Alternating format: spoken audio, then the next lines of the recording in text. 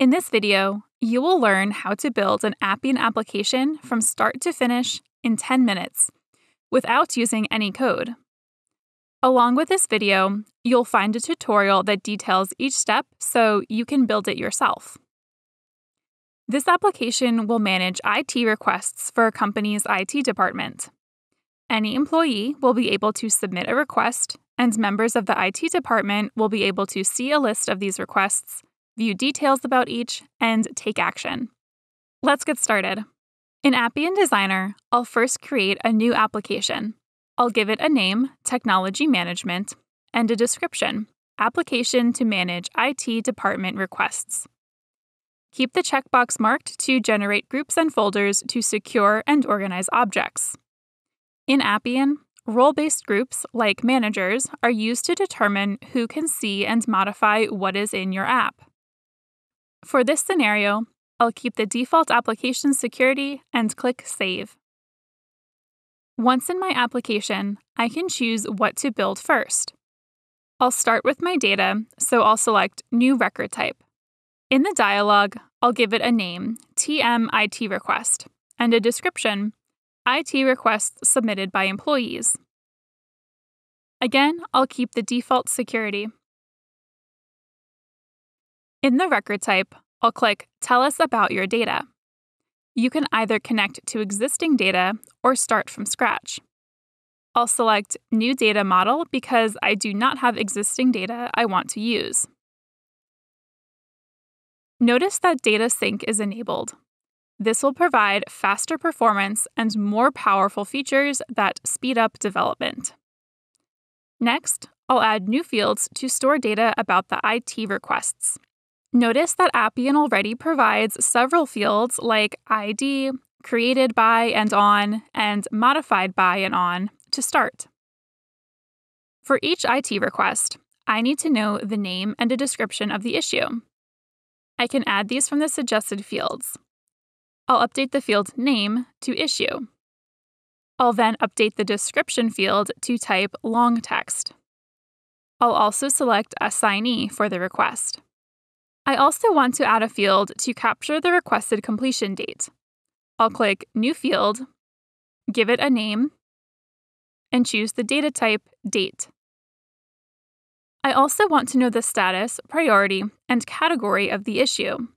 Because these values should be a choice to business users, I'll configure the fields as choice lists.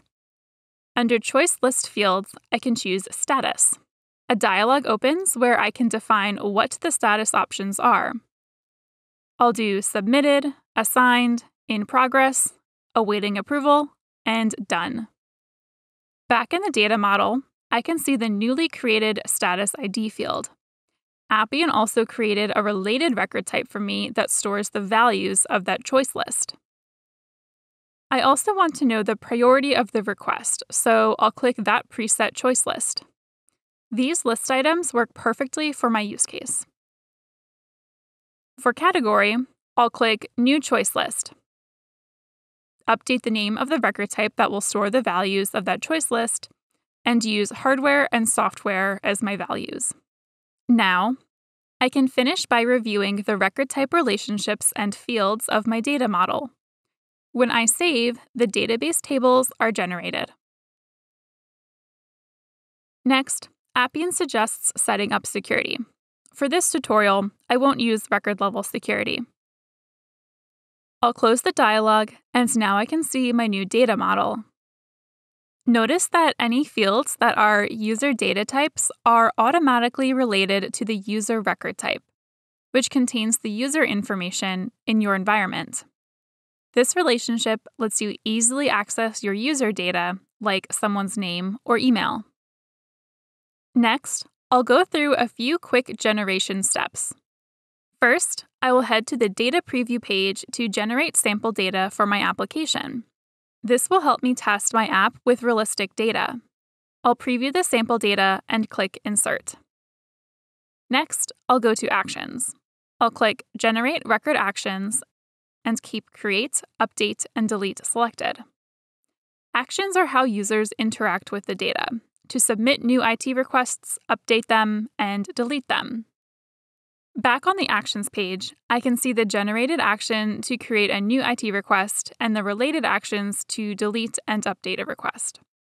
I will drag the Update IT Request related action so it's the first related action in this list. Next, under Views, I'll generate the summary view. This is how business users will see the details of an IT request. I'll keep Summary as the name and then click Generate View. Before moving on, I'll update the record list, which is a grid view of all the IT requests. Under List, I'll click Edit List.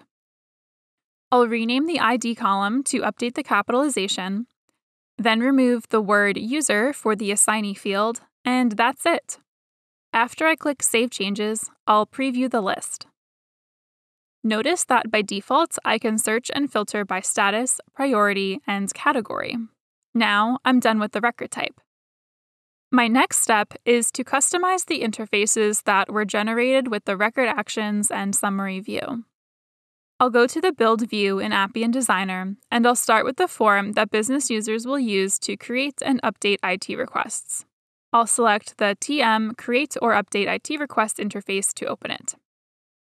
As you can see, it already contains the overall form structure, including the buttons and the fields from my record type. First, I'll reorganize the fields so related information is together. I'll hover over the Radio Buttons field for the request category. Next, I will click and drag it so it's directly below the issue field. Now that I have my layout design, I'm ready to make changes to the components using the Component Configuration pane. First, I'll click Description, then navigate to the Component Configuration pane on the right. I'll update the placeholder with text to display in the field when it is empty.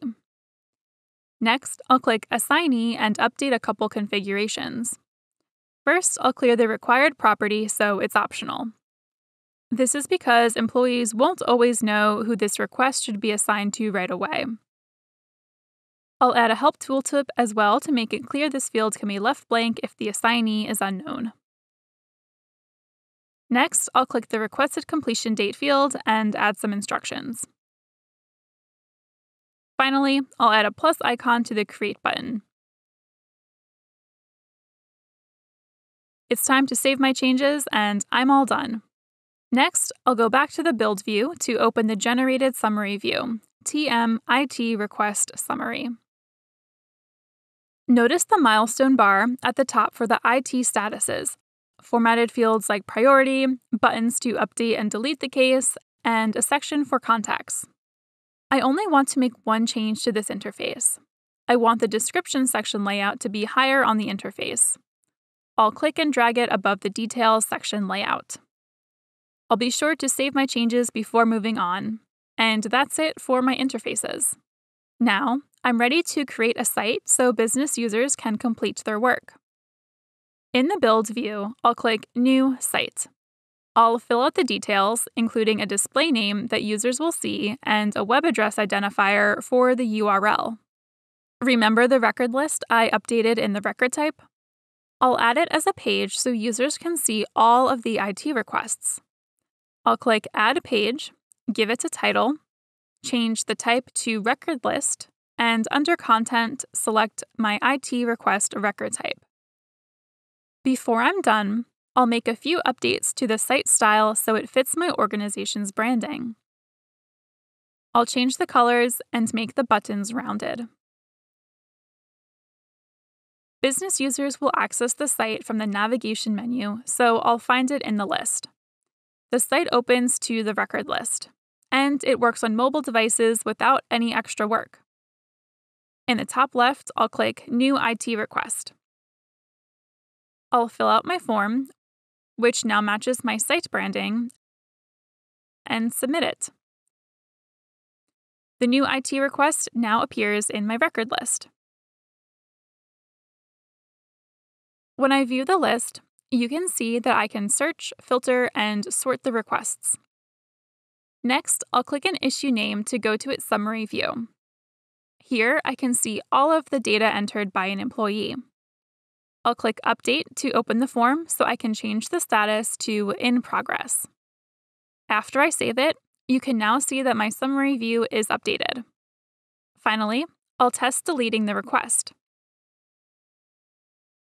And I can see it's been deleted. And that's it. In less than 10 minutes, I built a functional case management application from scratch. Now, it's your turn to follow the tutorial and build the app yourself. If you're interested in learning even more, try out our Appian Developer Learning Path, where you'll find everything you need to be successful building Appian applications.